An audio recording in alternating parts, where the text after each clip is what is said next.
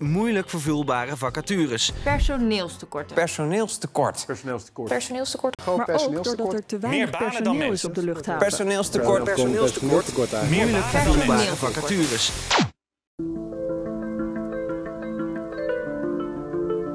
Ik ben Trudy van eh Seaside, hele leuke eh, kledingwinkel in Schagen. En ook wij hebben last van personeelstekort.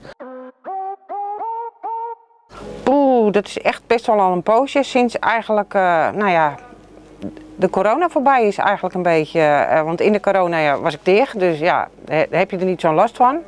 Maar sinds de corona voorbij is, eh, ja, het is gewoon heel lastig. Ehm, wat het precies is, weet ik niet. Nou, ik heb wel een vaag vermoeden. Ik, ik merk wel, zo gauw ik eh, sollicitanten binnenkrijg, dat uh, gauw ze horen dat ze zaterdags moeten werken, dan eh, no way José. En ik denk, ja, dat is juist de leukste dag in de winkel. En dat hoort er ook gewoon een beetje bij. En ja, ik vind ook dat in Nederland je ook niet echt gestimuleerd wordt om te gaan werken. Want ja, tegenwoordig is thuiszitten eigenlijk heel goed te doen. Nou, als ze überhaupt binnenkomen, al om te vragen. Ik heb overal grote papieren hangen en eh, eh, als ze nou komen vragen en ik stel een paar vragen, onder andere van eh, ben je bereid op zaterdag te werken, dan is het bijna hup, linea en ze gaan weer weg. Terwijl dat in mijn ogen de leukste dag is om te werken, want het is ook heel gezellig, het is altijd wat drukker. Dus ik, ik, ik begrijp hem niet. Weet je, in de, in de horeca moet je ook zaterdags en zondags werken, dus alleen de zaterdag denk ik, nou... En ik denk ook dat het voor een deel er uh, mee te maken heeft dat er uh, niet werken vaak beter loont als wel werken. Ik ken echt voorbeelden van mensen die thuis zitten die meer overhouden als van mensen die werken. Dus ja, het wordt ook niet echt heel erg gestimuleerd. Om, dus dat vind ik wel een beetje een dingetje.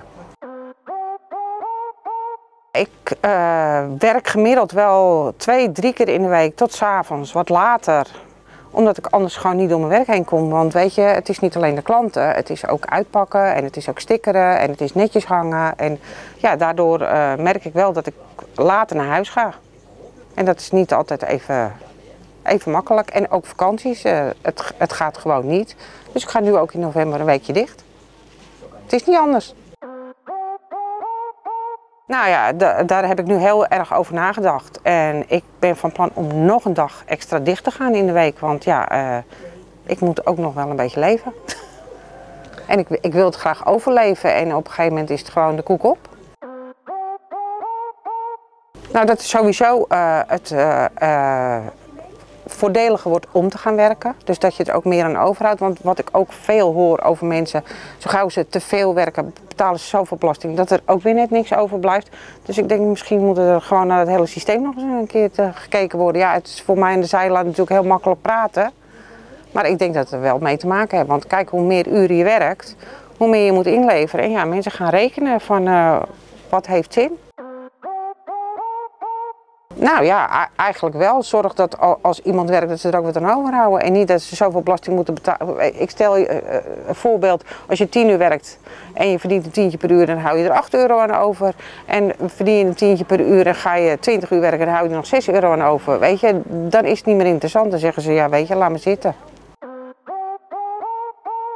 Uh, gezellig, nooit saai, iedere dag anders. Wat onwijs leuk is dat je echt, ik, ik heb, wij hebben ook heel veel toeristen en ik spreek wel aardig Duits. Echt leuke verhalen. Mensen komen terug en uh, herken je me nog? En, en, dan is het heel vaak dat ik ze niet herken, maar dan vertellen ze een heel klein beetje van het verhaal. En dan denk ik, oh ja, dat was dat, want dat, dat onthoud ik dan beter. Maar dat ze ook een soort uh, ja, band met je krijgen. Ik heb bijvoorbeeld een familie, die hebben een huisje. En Iedereen die in hun huisje zit, er ligt een brief. Je moet naar Trudy toe, want het is heel gezellig. Je krijgt de koffie en uh, ze kleed je ondertussen nog aan ook. Dus uh, ja, het, het, heeft absoluut iets onwijs leuks. En uh, ik krijg ook best wel af en toe gekke verhalen te horen. Maar ja, ook dat is leuk. Nou, in ieder geval heel gezellig zijn. Je moet wel een beetje kunnen kletsen, want het, het, het is natuurlijk wel een winkel. Dus je, je moet niet een muurbloempje zijn. Ik kom zelf uit de horeca. Dat was voor mij wel een pluspunt. En uh, ik heb nu een meisje op zaterdag, die heeft ook in de horeca gewerkt. Ik merk het wel meteen, want ze zijn wel meteen een beetje open. En dat is wel heel fijn, want je moet naar de mensen toe. En stel nou dat iemand nu kijkt en denkt, ja maar wacht even, ik vind het wel leuk om in een kledingwinkel te werken en die zaterdag maakt me niet uit. Kom langs! Want het is hier hartstikke leuk. En we, we, hebben een heel klein clubje. Op vrijdag heb ik een, uh, een, uh, een collega die maakt de winkel hartstikke mooi. Op zaterdag uh, hebben we een zaterdaghulp. Maar wij kunnen echt voor twee, drie dagen echt wel iemand erbij gebruiken. Die, en weet je, we hebben gewoon best een leuke club. Oh, en ik weet nog een heel leuk verhaal. er was van de zomer waren er twee heren die probeerden een jas mee te nemen. En dat kwam een klant me vertellen die hier buiten zat. En toen ik naar buiten en toen liep ze op bij het terras. Toen ben ik achteraan gerend, blerde ik over, de, over het terras houten dief en half schagen ging helpen. En binnen een uur was Emma jas terug en de dief gepakt. Vond ik wel even een leuk verhaal. En uh, alle schagenezen nog steeds bedankt.